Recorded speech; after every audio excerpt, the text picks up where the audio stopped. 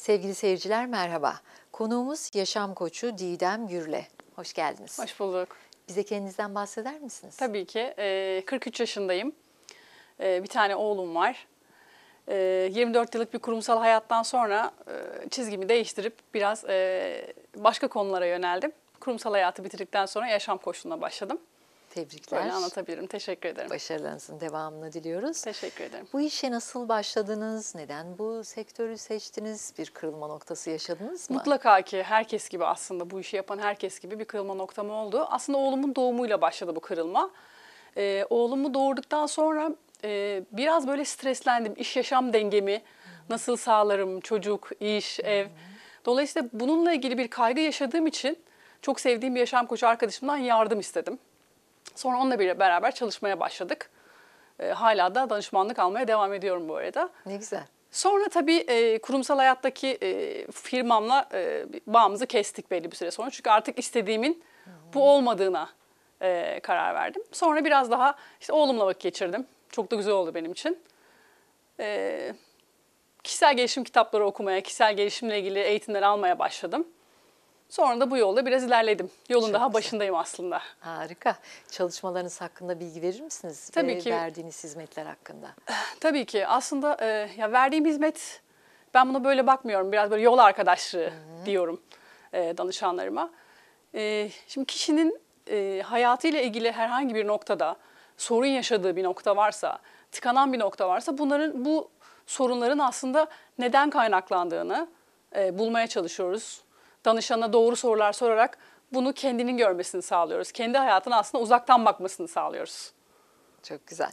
Peki sizin en önde gelen özellikleriniz nelerdir sizi meslektaşlarınızdan ayıran? Ya aslında e, zaten hepimiz birbirimizden farklıyız. Evet. E, bu yolculukta çok fazla akım var, çok fazla e, yaşam koçluğuyla ilgili Ekoller, var, akımlar var.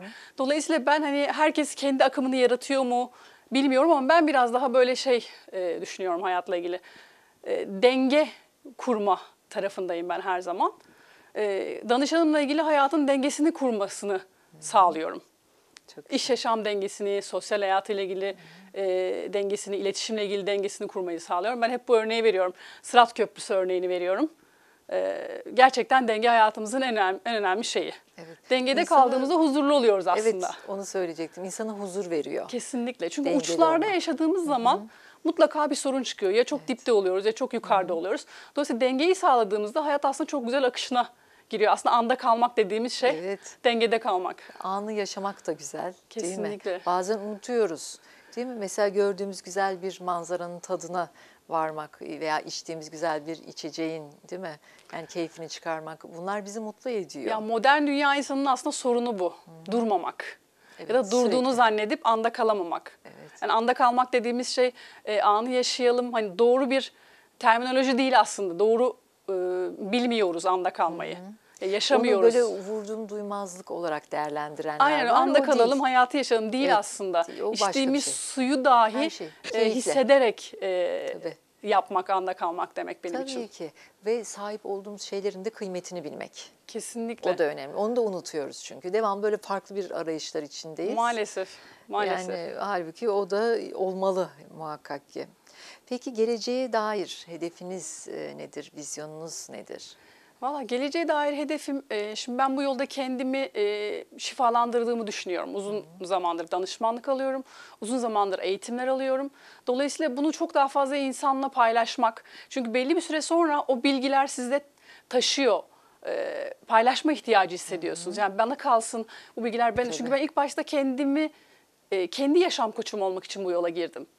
Ee, oğlumu düzgün yetiştirebilmek için, kendi yaptığım hataları onun hayatında yapmamak için aslında bu yola girdim. Ama sonra bakıyorsunuz, işte oğlum derken, eşim derken, ailem derken e, kabınıza sığmıyorsunuz. Dolayısıyla daha fazla e, insana ulaşmak istiyorsunuz. Benim amacım daha fazla insana ulaşmak tabii ki. Ne güzel. Peki iyi bir yaşam koçu olmak için hangi özelliklere sahip olmak gerekir? Ee, bu işi yapmak isteyenler nasıl bir yol izleyebilir sizce? Bence önce kendini şifalandırmış olması gerekiyor e, iyi bir yaşam koçunun. Tabii ki bizim de hani yaşam koçuyuz, hayatımız şahane. Biz bu işi çok öğrendik. Değil tabii ki. Hepimiz zorluklar yaşıyoruz. Ee, konu aslında burada yaşadığımız olaylara verdiğimiz tepkiler. Biz o tepkileri değiştirdiğimizde yaşamımız değişiyor. Çünkü e, hani bir olaya aynı tepkileri verdiğimizde farklı sonuçlar bekleyemeyiz. Tabii. Biz davranış değişikliği göstereceğiz ki hayatımız değişsin. Dolayısıyla davranış değişikliğini öğretmek aslında amacımız. Kesinlikle. Sizinle sohbet çok keyifliydi. Teşekkür Fakat ediyorum. Çok sağ olun. sonuna geldik. Çok teşekkürler. Son olarak izleyicilerimize iletmek istediğiniz bir mesajınız var mı? Var tabii ki. Ee, ben herkesin bir e, yol arkadaşı olması gerektiğini düşünüyorum. Ee, bunun adına yaşam koçu diyebilirsiniz, psikolog diyebilirsiniz.